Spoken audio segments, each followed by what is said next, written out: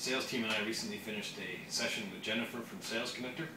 We were looking to increase our sales productivity and we were looking at online resources and we found that meeting with Jennifer was much more beneficial.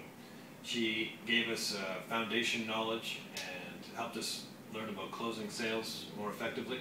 Uh, she created a sales process model that was specifically tailored for our company. And since we've done the session, we've seen an increase in sales and an increase in productivity with closing, and, and we can already see the difference. So we're glad we made the choice to go with Sales.